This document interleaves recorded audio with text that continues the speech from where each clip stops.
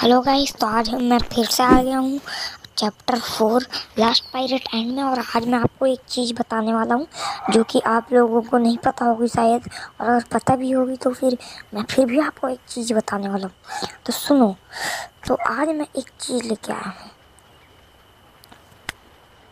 How to shoot bullet without bullet मतलब how to shoot gun without bullet आज मैं आपको यही बताने वाला हूँ।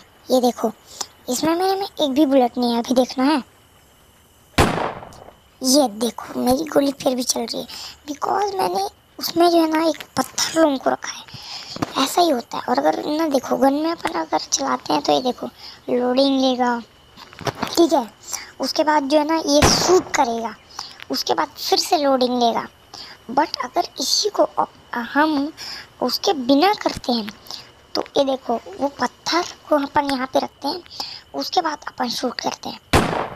ये देखो, अपन में कोई रिलोड का ना एनिमेशन भी नहीं आया।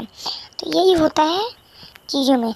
लेकिन जो है ना, अगर आप इस गन से डैमेज दोगे तो आप उस आपको गन से सिर्फ़ पच्चीस का डैमेज जाएगा, और अगर बुलेट के साथ मारोगे तो पैंतीस का, क्योंकि बुलेट का भी पंद्रह का डैमेज रहता है।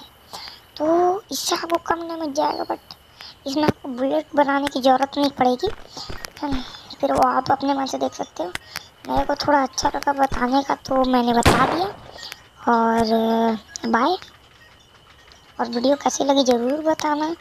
और बाय बट हाँ हाँ रुको रुको रुको। चैनल को अगर सब्सक्राइब कुछ अच्छा लगा हो तो सब्सक्राइब भी कर देना। और अगर ना लगा हो तो अनसब्सक्राइब भी कर सकते हो। बाय